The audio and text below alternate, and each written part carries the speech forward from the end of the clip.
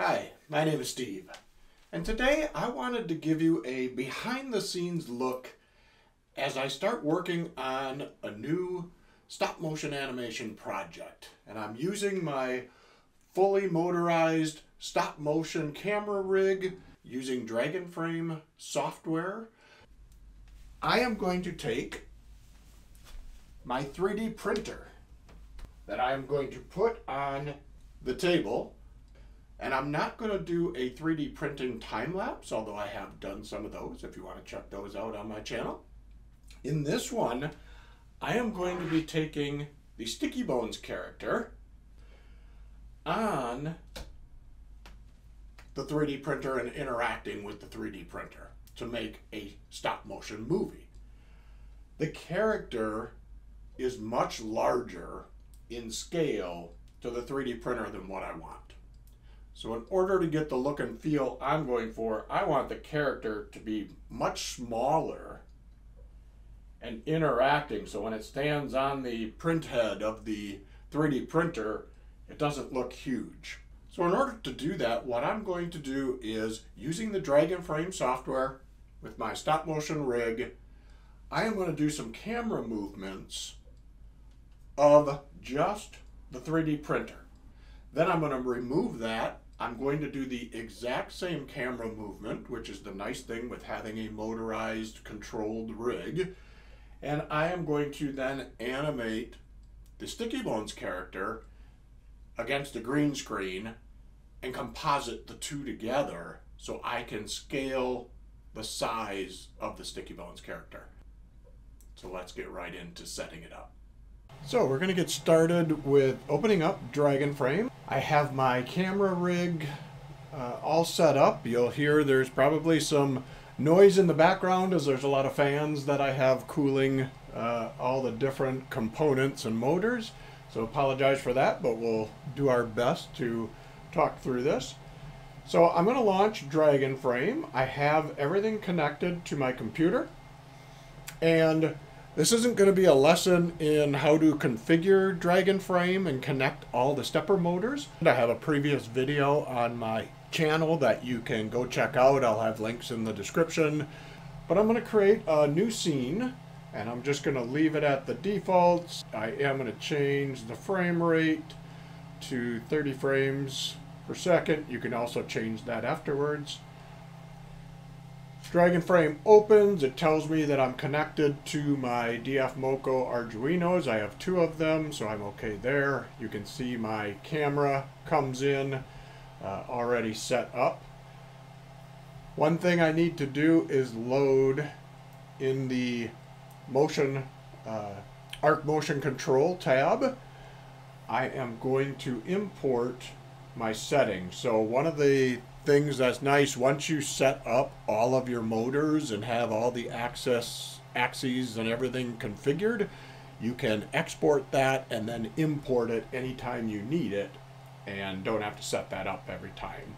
So my arc axis setup. I am going to take this is out on my desktop. I'm going to import this and now this brings in all of my previously made motion control sliders and everything that I need to now animate the camera and the table. And for what we're going to do for our initial test, so I am going to show you a little bit of doing keyframing in Dragonframe software. And the keyframing is then what will become the repeatable pattern. So once you set up your keyframes and your motion, you can also export that and import it at any time. So right now I am going to change my scene. I only have 48 frames and I'm doing 30 frames per second. So if I want to make this, uh, let's say I want to do a 8 second clip, uh, I'm going to do 320 frames to get me uh, 8 seconds. So as I drag this out, You'll now see I can drag the slider to get into the individual frames or drag it out to see my full, uh, actually I did more than 8, I did about 10. But for this, I plan on doing about 8 seconds, so I can just drag this to an 8 second window. And right now, you'll see everything is zeroed out from my motors. So this is my start point. Everything starts at the zero, so you always want to set a zero point for all of your motors. But now that I'm on frame one, I can move my camera, I can move the table, I can adjust everything and set a keyframe for each of the individual stepper motors. So the first thing I want to do is I'm going to want to tilt my camera so that as the camera tilts down, you'll see now I can get it focused on the 3D printer. I may want to also slide the camera a little over here. So I'm going to have it start off to the side. I can also rotate the camera so that it points a little bit more, getting the 3D printer centered. And again, all of this being somewhat of a test that I'm doing. So now you want to set a keyframe I do a keyframe for all of the motors. It's just easier to do a keyframe all. And so once you do that, it will now add a keyframe at frame one in that position. So now at four seconds, when I am about halfway through, now I want to do some movements. I want to adjust the position of where things are. So we're going to take the camera slide. I'm going to bring it uh, more back to the center of the model about or the model the printer we're going to also move it down so I'm going to have this come down a little bit maybe I am going to have the table slide backwards a little bit to get a little more of the view. I am going to take and rotate the camera.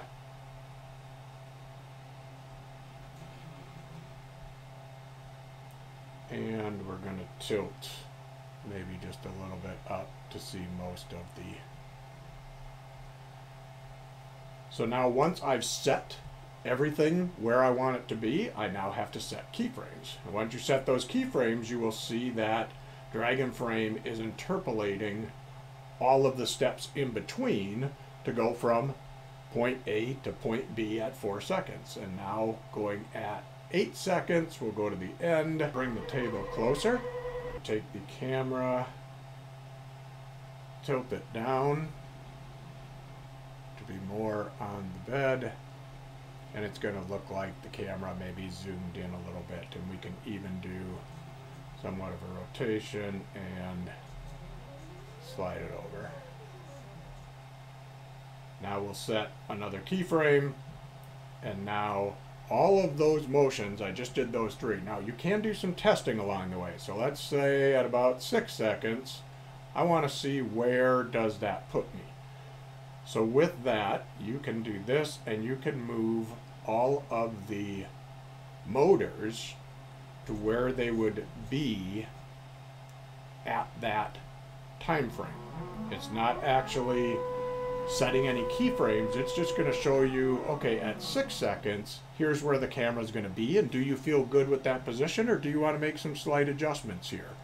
So maybe I want to tilt it a little bit up so that it gets a little more in view there. And now what I can do is set a keyframe for that tilt so it will make that adjustment in between. Let's get everything back to frame one, reset all the motors, and now that will be ready to capture. And now there's a couple of different things you can do. Within Dragonframe, the first test I want to do is I am going to actually have it make a preview movie for me. So there is a uh, run a test of the move, and then there is a movie of the test move and it is going to take and move the camera along and actually run through this and do a low res preview. So let's take a look. It's going to take a little while, so we will speed up through this. I am going to do all the frames. There's a little bit of a time for the camera to settle in between each one, but otherwise we're just going to let this run as is.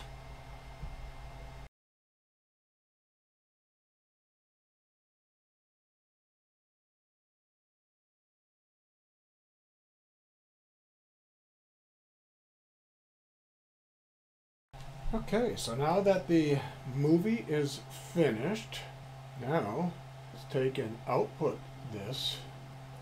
This will now export the actual movie that it took. Movie has been saved.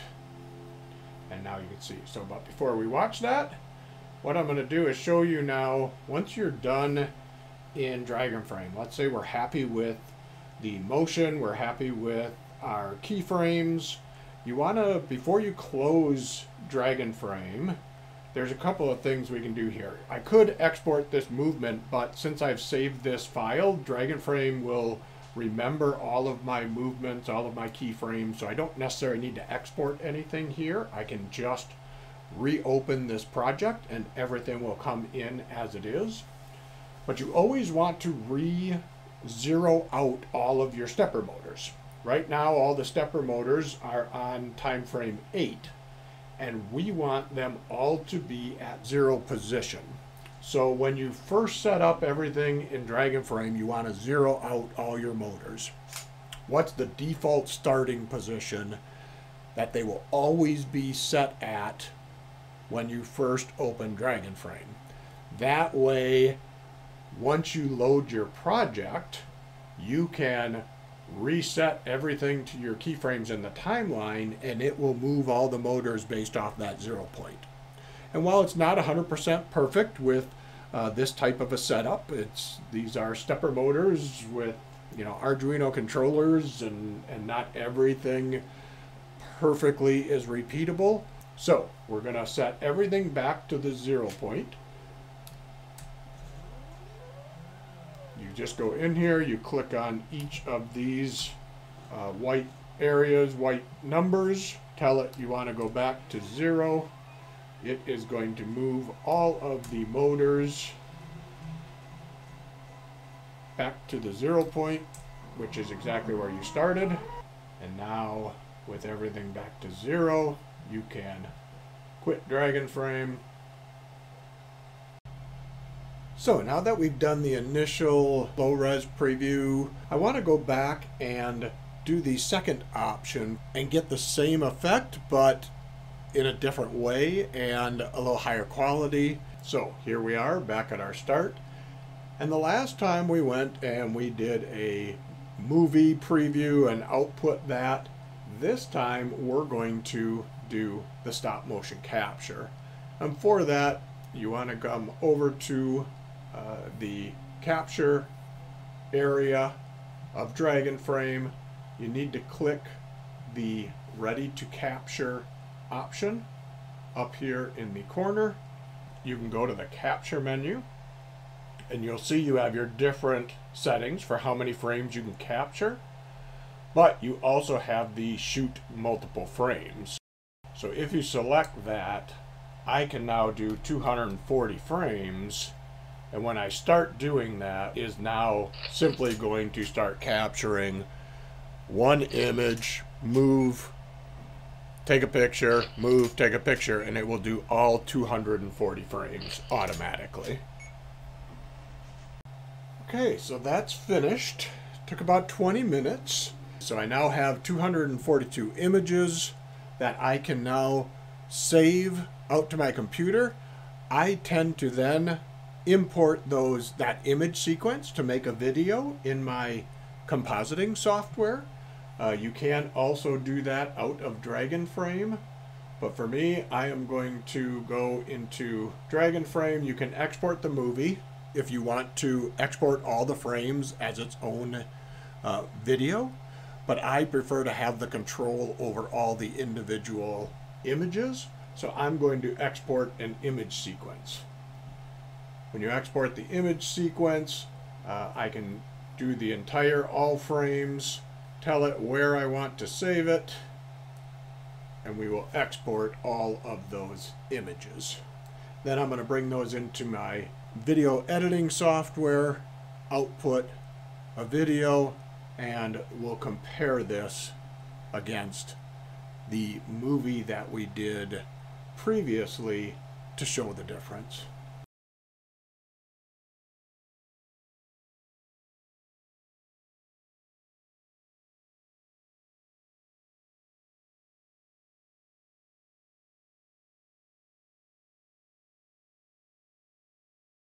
So now that we've got the first part of the shoot done, now we're going to move on to recording the Stickybones character. And this is where I have my Stickybones character. And just to quickly go over, so I'm going to place him on the table and have the same camera movements that I had for the 3D printer. So all of that will be a one to one match. Well, close as it gets, I guess.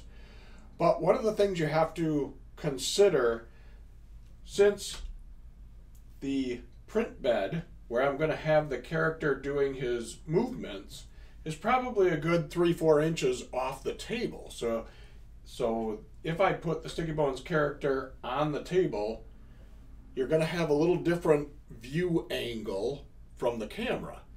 Now, in this case, that's actually what I want. Since I'm going to make the Stickybones character smaller in size, he would technically be lower on the table. So in this case, all I'm going to do is take the printer off, I'm going to put the character, but I'm going to leave him at the table height. If you had a smaller character that you were trying to enlarge, then you might want to put him a little higher than what the print bed was to get at least a close angle that's going to look good when you composite the two together. So I'm going to take and get this set up and we'll take a look at animating the character. So now I have my Stickybones character set up on the table with the green screen and the uh, fabric down below so I'll be able to key all of that out. And now it's time to get back into Dragonframe, reset our camera to the original position, and I'm going to bring in the previous footage of the 3D printer in the background to see how does it look? Am I getting close to what I want? Do I have the right angles? So I opened up the original project in Dragonframe. I deleted out all the previous images that we took of the 3D printer. So really treating this like it's a brand new scene, but it does keep then all of my original settings, my original timeline, keyframe animation, all of that. So the first thing you do, again, this is why you zero everything out. We're going to go to frame one. I am going to now move all of the cameras, or move all the motors, I should say, to the frame one position. You'll now see that the Stickybones character is in position relative to where we had the 3D printer. But to see how does that look and is it really at a decent angle, the right perspective, we're going to go into the animation tab and I'm going to load the movie that we made, the low res preview movie. Uh, you could load the image sequence that we did in the second shot. It really doesn't matter. So I'm going to go out to that test movie, open it as a reference. So now it's going to load that into the scene, but it's on top of my camera. Here's my current camera, so I just want to drag it below it. So the camera's on top. The reference images are on the bottom. You can see it in the timeline down here. Now we're going to go to our current camera and we're going to mask out the green screen. Now this doesn't actually, when you take a picture, this isn't keying out the green screen. This is just a visual within Dragonframe. So if I go down, turn on the keying, you can see you can have a tolerance slider. Once you, if I come back here, if I take my eyedropper, hit an area of the screen and then you can adjust the tolerance. And if I want to, because I'm going to scale the Stickybones character in my compositing software, so I'm not necessarily expecting him to be to the correct size. It's does it look like he fits within, uh, you know, this image. So if I go back to the test image, I can also now move that around in the background. So I could put my Stick Bones character here. I can also take and scale that up. So let's say that's about the size I'm going to make my character. Does it look like he fits within that scene? And for me, I'd say it's pretty close. I could move him maybe a little bit more forward on the uh, on the table, but I actually don't mind that. So this is a way of getting your proper reference and your proper angles to make sure as you go then into your compositing software, the two are going to look similar. So I'm going to take, go through the same process. I'm going to take and remove this. Well, I'm going to keep it in there so as I go through doing my animations, so what you'll be able to do is along the timeline here, you'll be able to go along and you'll see the background move, then you can check where is your character in reference. So this helps you with the stop motion animation and that way when you composite the two together, it should look like they fit.